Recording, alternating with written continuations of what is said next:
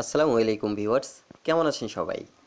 Viewers, এ ভিডিওর আলোচনার বিষয়, দাঁত তোলা ফাঁকা স্থানে স্থায়ীভাবে দাঁত প্রতিস্থাপনের পদ্ধতি ডেন্টাল ইমপ্লান্ট সম্পর্কে।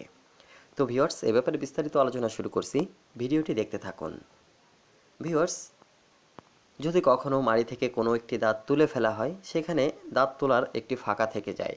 আর যদি এমনটি রাখা হয়, তাহলে পাশে যে দাঁতগুলা থাকে, সেই দাঁতগুলা খুবই দ্রুত খুবই দুর্বল হয়ে পড়ে, আশেপাশে ফাঁকা হয়ে যায় এবং সাপোর্ট না থাকার কারণে পাশের যে দাঁতগুলা থাকে এগুলা অত্যন্ত দুর্বল হয়ে যায় এবং কামড় দিতে দিতে কিন্তু পাশের দাঁতগুলা হালকা পরিমাণ বাঁকা হয়ে যায়। তো এসব সমস্যা রুখতে যেখান থেকে দাঁত তোলা হয় সেই দাঁত তোলা ফাঁকাটা স্থায়ী অথবা অস্থায়ী দুইভাবেই কিন্তু পূরণ করা যায়। এখানে যে সিস্টেমটা আপনারা দেখতে পাচ্ছেন যে পদ্ধতিটা এটি মূলত দাঁতের ইমপ্ল্যান্ট চিকিৎসা। অর্থাৎ ইমপ্ল্যান্ট শব্দের অর্থ হলো দাঁত প্রতিস্থাপন করা। আর এটি করার জন্য উপরের, যদি উপরের দাঁতে, উপরের মাড়িতে ইমপ্ল্যান্ট করা হয়, তাহলে উপরের চোয়ালের যে হাড় রয়েছে, যে ম্যাগজিলা রয়েছে, তার ভিতরে বিশেষ ধরনের স্ক্রু বসিয়ে তার উপরে ক্যাপ করে দেওয়া হয়। এবং যদি নিচের মাড়িতে এটি করাতে চান, তাহলে ঠিক এমনভাবে নিচের চোয়ালের যে ম্যান্ডিবুলারের যে হাড্ডি রয়েছে, যে হাড় রয়েছে, সে হাড়ের সঙ্গে বিশেষ ধরনের সার্জিক্যাল পোস্ট করিয়ে তার উপরে ক্যাপ করে দেওয়া হয়। এটি ইমপ্লান্ট ট্রিটমেন্ট এই ইমপ্লান্ট ট্রিটমেন্টটি অন্যান্য যে দাঁত প্রতিস্থাপনের বা দাঁত বসানোর যে সিস্টেমগুলো রয়েছে, যে পদ্ধতিগুলো রয়েছে সব থেকে ভালো এবং উন্নত মানের যে চিকিৎসা পদ্ধতি রয়েছে তা হলো এই ডেন্টাল ইমপ্লান্ট ডেন্টাল ইমপ্লান্ট দাঁত প্রতিস্থাপনের শেষ কথা বললেই চলে। তো ভিউয়ার্স যখন একটি দাঁত এখান থেকে মাড়ির যে কোনো প্রান্ত থেকে- তুলে ফেলা হয়, তো তুলে ফেলার পরে সেখান থেকে যে ফাঁকাটি থাকে, সেই ফাঁকাটি কয়েকভাবে বন্ধ করা যায়। সেখানে ডেঞ্চার বা অস্থায়ী দাঁত বাঁধানো যায়, যেটি আপনি নিজে নিজে খুলতে পারবেন, আবার নিজে নিজে পড়তে পারবেন। এছাড়া পাশে যে দাঁত থাকে, পাশে যদি দাঁত থাকে, সেই দাঁতের সঙ্গে মোট তিনটি ক্যাপ করে একটি দাঁতের জন্য পাশে যে দুটি দাঁত থাকবে, তার সঙ্গে ক্যাপ করে আপনি তিন ইউনিটের ব্রিজ করাতে পারেন যদি একটি দাঁত না থাকে। তো ভিউয়ার্স, এই দাঁতের ফাঁকা পূরণের জন্য বেশ কয়েকটি ট্রিটমেন্ট পদ্ধতি রয়েছে। তবে সবথেকে ভালো এবং দীর্ঘস্থায়ী পদ্ধতি হলো ডেন্টাল ইমপ্লান্ট এখানে আপনারা যে ছবিটি দেখতে পাচ্ছেন, মূলত এটিই হলো ডেঞ্চার বা এটি অস্থায়ীভাবে দাঁত বাঁধানো। এটিকে আমরা পার্শিয়াল ডেঞ্চার বলে থাকি। যদি এক, একটা দাঁত অথবা দুটি দাঁত না থাকে, সেক্ষেত্রে দাঁতের যদি পাশে দাঁত থাকে, সেক্ষেত্রে এই ডেঞ্চার করা হয়ে থাকে। এটি খুবই সীমিত খরচ এবং অল্প সময়ের মধ্যে এটি করা সম্ভব। তবে এটি অনেকের অস্বস্তির কারণ হয়ে থাকে, কারণ এর সঙ্গে একটি প্লেট থাকে। এটি কখনো কখনো খুলতে হয়, খুলে পরিষ্কার করতে হয়। এ ধরনের ঝামেলা থেকে যায় এই ডেঞ্চার করার জন্য। কিন্তু যখন এখানে ডেঞ্চার করবেন না অথবা ব্রিজ করবেন না ইমপ্লান্ট করবেন না, তাহলে পাশের দুটো পাশে যে দাঁতগুলো থাকবে, এটি খুবই তাড়াতাড়ি দুর্বল হয়ে থাকে। আর তার জন্যই দাঁত তোলা স্থানে কোনো না কোনো একটি দাঁত বসিয়ে রাখা, স্থায়ী হোক বা অস্থায়ী হোক, একটি দাঁত সেখানে লাগিয়ে রাখাটাই ভালো। তবে এখানে যে সিস্টেমটা আপনারা দেখছেন, অস্থায়ীভাবে দাঁত বাঁধানো, এটি তুলনামূলক খুবই সস্তা এবং খুবই কম সময়ে এটি করা হয়ে থাকে।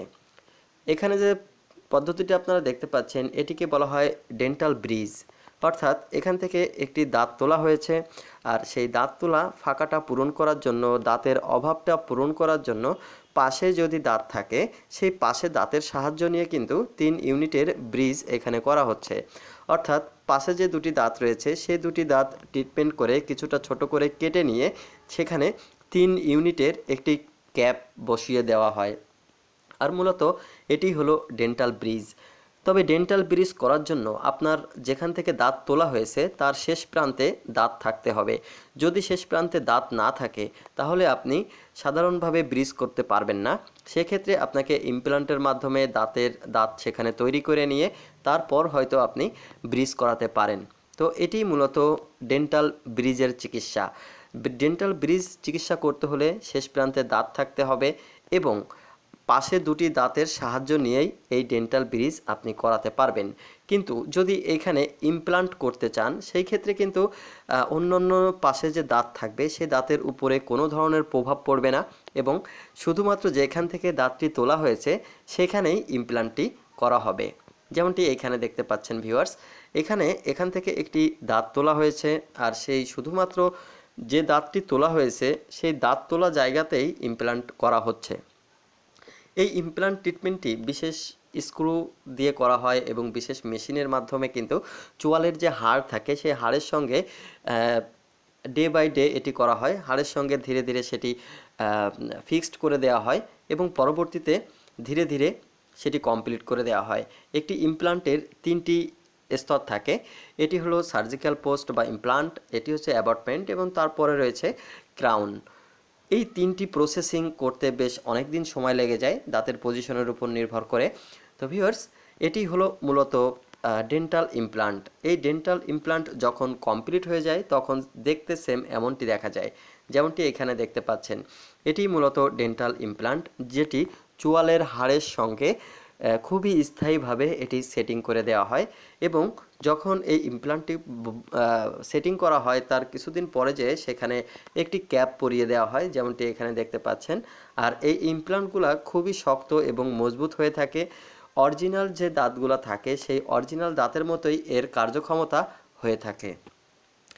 ভিউয়ার্স, এখানে যে ছবিটি আপনারা দেখতে পাচ্ছেন, এখান থেকে একটি দাঁত তোলা হয়েছিল। যে কোনো সমস্যার কারণে এখান থেকে দাঁত তোলা হয়েছিল। আর সেই দাঁত তোলা জায়গাটাই কিন্তু পুনরায় ইমপ্লান্টের মাধ্যমে দাঁত সেখানে সেটিং করা হয়েছে।